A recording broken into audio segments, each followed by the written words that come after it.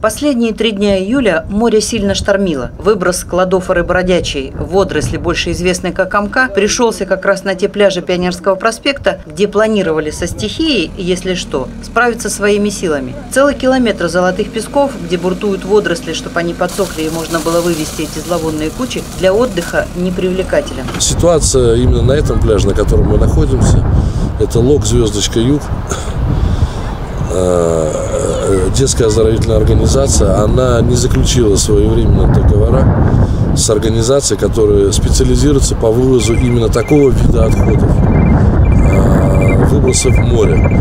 Ситуацию вы прекрасно видите. Нам э, писали письма, мы справимся сами, мы своими силами.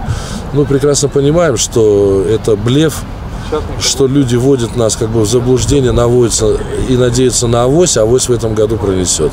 В течение двух суток, если территория пляжа не будет приведена в надлежащее состояние, информация будет направлена в природоохранную прокуратуру, в Росприроднадзор с требованием расторжения с этими договорами, э, с, этими, э, с этой организацией короче, договоров на водопользование и на пляж.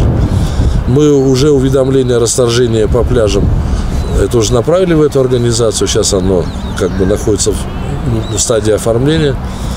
Ну, как бы нерадивым э, владельцам пляжных территорий не место на анапских пляжах, потому что это в целом очень сильно портит общий имидж города.